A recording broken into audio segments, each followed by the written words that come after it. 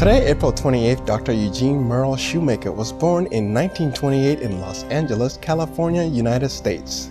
He is the founder of astrogeology, the branch of planetary science concerned with the geology of celestial bodies such as planets, moons, and comets. Specifically, Dr. Shoemaker studied impact craters such as those caused by meteors.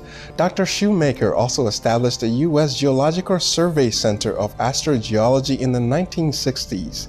He is famous for his co-discovery in 1993 of the Shoemaker-Levy 9 comet orbiting Jupiter, which is among his 29th comet findings.